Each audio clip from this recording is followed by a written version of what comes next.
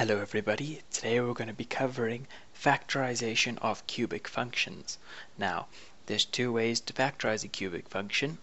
We have the kx method, which was covered in another video, and we have the method that we're going to be doing in this video, which is long division.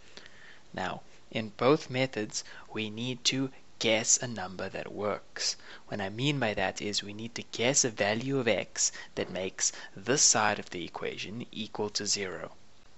The guessing process may take a while, but for the purposes of this video I will use a number that I know works. So I'm going to guess minus 1.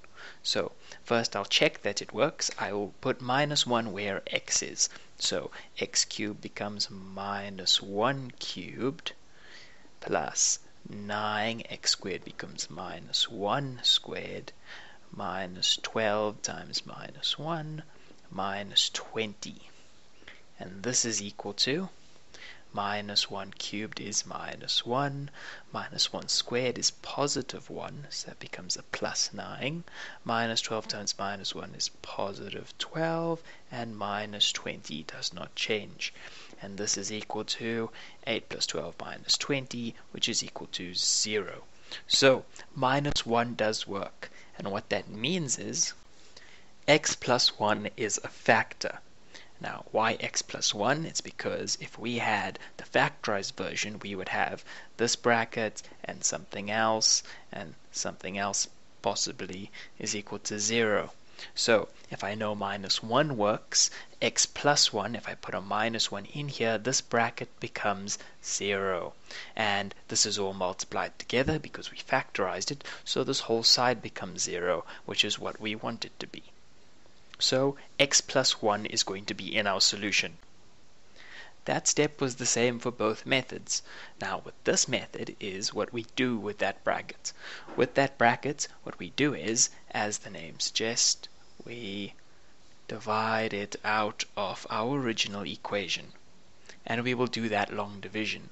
Now, uh, long division with algebra follows the same rules as long division with normal numbers. So let's do a quick recap of regular long division. We will leave that up there for now. Okay, let's divide 3 into 562. Now, we're going to use the long division rules, which are daddy, mommy, sister, brother, which is just the easy way to remember it, which stands for divide, multiply, subtract, and bring down.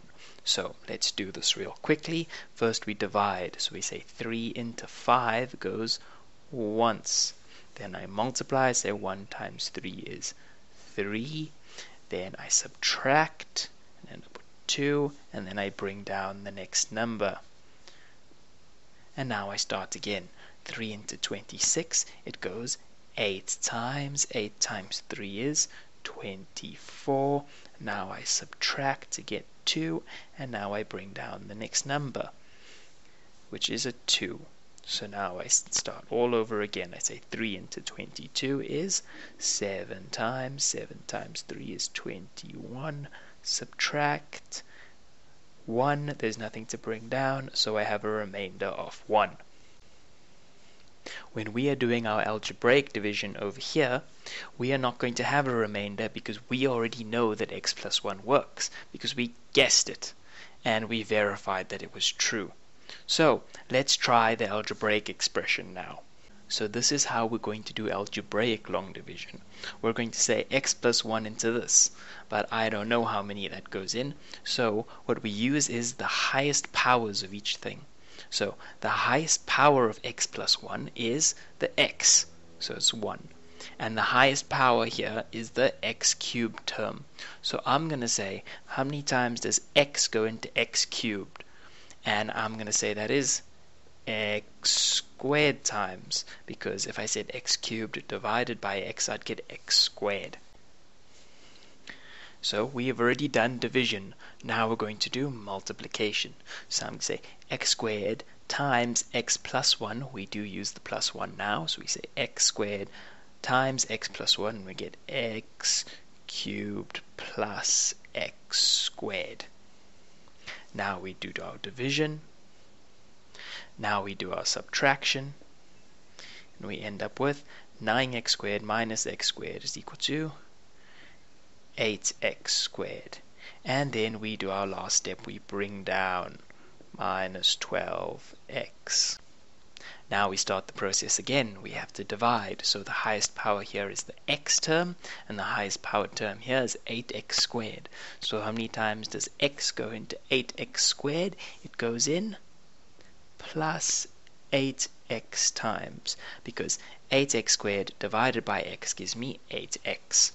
So I've done my my division and now I need to multiply 8x times x plus 1 so that gives me 8x squared plus 8x and we subtract now.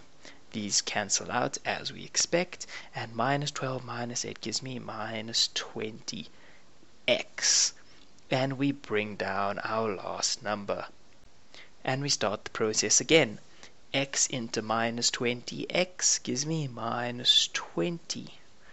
Now I multiply and end up with minus 20x minus 20 and this is a 0 and there is nothing to bring down and we are done.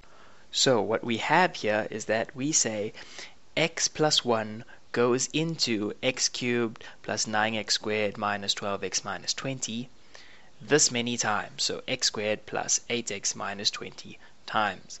So if I said this times this, I must get this. And that is what we need to factorize. So now we can write our original equation was x cubed minus 9x squared minus 12x minus 20 is equal to 0. Now that is now this expression because we have this times this must equal to this. And now we've started the factorization process. So just to complete the factorization, we're going to have to factorize this last bracket over here. So this factorized gives me x plus 1, x plus 10, x minus 2 is all equal to 0. And now we have our solutions. We have our solutions of x is equal to minus 1, or x is equal to minus 10, or x is equal to 2. So with a cubic function, we can get a maximum of three solutions. We can get less than three solutions if one of these brackets was squared, and then we'd end up with two solutions because one of the solutions would be repeated. I hope you all now understand how to factorize a cubic function using long division. Long division can also be used for expressions with higher powers than 3 and dividing by higher powers of 1 feel free to look at the other video where you learn how to do it with the KX method, which you will see there. Happy studying!